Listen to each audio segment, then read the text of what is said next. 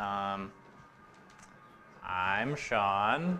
I'm going to talk about cross-browser compatibility. But before you fall asleep, let me just tell you that it's really cool.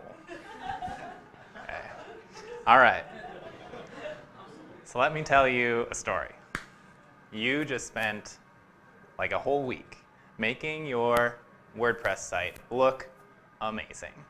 And you've been playing with your CSS and your dev tools and you've been you know, getting everything. Got some nice overlays. You got this nice nav bar. You got the, got the markup image alignment going and, you, and, you, and you, you're making it for your, for your boss. And, and you're like, OK, I really think you're going to really like this site.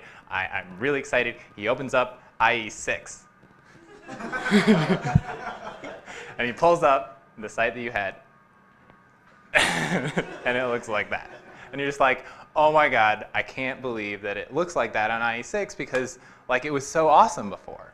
Um, and here is where you need to know about cross-browser compatibility. All right, so what is it? Cross-browser refers to the ability of a website, web application, HTML construct, or client-side script to function in environments that provide the required features and um, to borrow out or degrade gracefully when features are absent. Um, and, and, and, and making your site cross-browser compatible is just kind of the, uh, the tools that you can use in order and, and like different kinds of scripts and, and, and different kinds of things in order to make this uh, work for your website. And let's go ahead and not do that. Okay, so an outline of the, the rest of the talk um, is a quick history of cross-browser compatibility because it's kind of a cool, uh, a couple of really cool things that, that happened when HTML5 came out. Um, and then like sticking points like the, you, that you could understand, like um, JavaScript support um, when HTML5 came out, um, CSS uh, issues and responsiveness, um, API support for different kinds of really cool things that happen in Chrome, but sometimes not, not in other places. Um, and then different tools that you can use to uh, test your site in, uh, in other browsers. And, and then I have a big list of further reading that you can use to extend your knowledge. Uh, okay, so I think um, a, a, a, quick, very quick history. Um, basically in the 90s, the two main browsers were Netscape Navigator and Internet Explorer. Um, and the, they kept like, and you know, we've, we've kind of talked about this a little bit um, in, uh, in, in, junior phase, but uh, there was really fast-paced development, um, which resulted in lots of new versions and lots of instability, security holes, feature gaps. Um, and, and we basically said, use the right browser for this site or else it's just not going to work for you. Um, and then in the early, early 2000, we started um, standardizing JavaScript. We started standardizing DOM um, with the World Wide Web Consortium.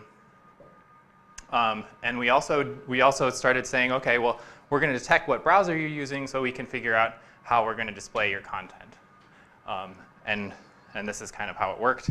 User agent sniffing. So like if your browser is the lame one, they make you use at work, then you get the old lame experience. Um, or else, if you're not using that browser, you can have this really cool feature.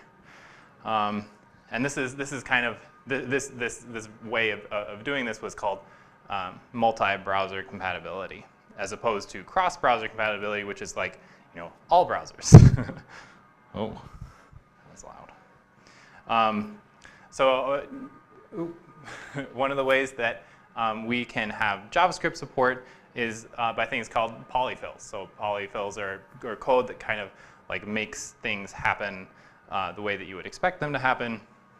One example is, uh, is something called session storage, which uh, basically like checks to see if you don't have session storage. I think IE 6 and 7 don't have session storage, and then kind of makes a thing using cookies that uh, is just kind of uh, an interesting thing that you can do with that. Oh, okay.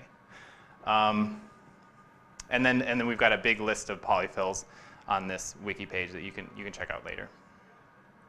Um, Uh, so when HTML5 came out, they had all these uh, these new tag names like um, article, and I can't actually remember that many more. Um, but you can't you can't style it in in IE six to eight because IE six to six to eight says, oh well, that's that's a weird thing that I don't understand. Um, there's actually a really cool story about how um, they figured out how to get around this because it was it was kind of uh, it kind of threw a big wrench in the works of getting HTML5 to be adopted. Um, and basically someone, someone like offhandedly mentioned in a blog post that back in 2002 they figured out a way to have Internet Explorer um, recognize and style these uh, unknown elements. Um, and it got to be this huge big thing in 2008, uh, which you can read about. Um, so another thing that you have to keep in mind for cross-browser cross compatibility is um, CSS. Um, there are browser vendor specific tags like the WebKit things that like we've seen but we don't really completely understand. Um, there's a really cool library called Autoprefixer which, which will allow you to um, automatically prefix the things that need to be prefixed in your uh, CSS files. Um, you can't use media queries without CSS3, so browsers that don't support CSS3 won't be able to be responsive. There's a library called Respond.js that adds support for those um, via polyfill. Um, there are also sites that you can go on to um, check out uh, check out whether your site is responsive. So you can you can go to like Amazon.com and click go maybe I don't know. Okay, or we could just look at this site.